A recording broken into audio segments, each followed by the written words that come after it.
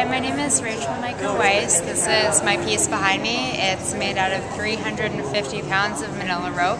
The title is Sagging Ellipse after Richard Serra. And it's sort of a response to Richard Serra's um, torqued ellipses, which you can see at Dia Beacon in New York. And there are these humongous um, iron um, torqued ellipses, which are all about masculinity, and so this is sort of a response to that.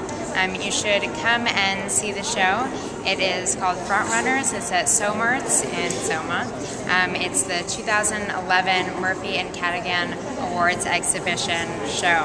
And you should also come and hear me and six other artists speak at the Artist Talk, which will be held at 5.30 on August 30th.